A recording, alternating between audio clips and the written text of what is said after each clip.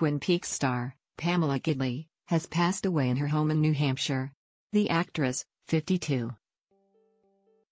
who starred in Twin Peaks, Fire Walk with Me in 1992, died peacefully in her New Hampshire home on April 16.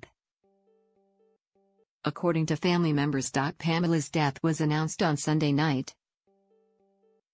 Although the cause was not immediately known, Gidley rose to fame as a child model before getting her big break in 1986 film Thrashin', which she starred in alongside Sherilyn Fenn, her future Twin Peaks co-star.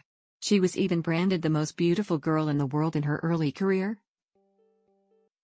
After starring as murder victim, Teresa Banks in the Twin Peaks prequel in 1992, Pamela's character, Teresa, was famously murdered during the TV show by Leland Palmer, and found wrapped in plastic. But the late actress almost didn't take the iconic role due to conflict of interest. However, David Lynch was so keen to hire her that he paid all flights and all insurance to get her on board. I was literally going from the Bahamas to Seattle. From Seattle to the Bahamas, almost every other 10 days, Gidley said during a 2016 interview. That to me was like, wow.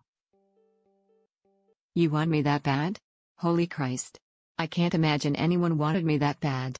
More recently, Pamela starred in 2005 in film Cake Boy where she played a character called Becky. The actress did not appear in the more recent Twin Peaks, The Return in 2017, or the last two seasons of Twin Peaks TV series, which ran in 1990 and 1991 for two seasons.